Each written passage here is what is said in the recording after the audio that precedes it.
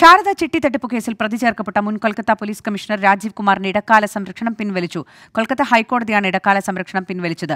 നേരത്തെ കേസെടുത്ത സിബിഐ രാജീവ് കുമാറിനെ അറസ്റ്റ് ചെയ്യണമെന്നാവശ്യപ്പെട്ടിരുന്നു. ബംഗാൾ മുഖ്യമന്ത്രി മമതാ ബാനർജിയുടെ വിശ്വസ്തനായ ഉദ്യോഗസ്ഥനായിരുന്നു രാജീവ് കുമാർ.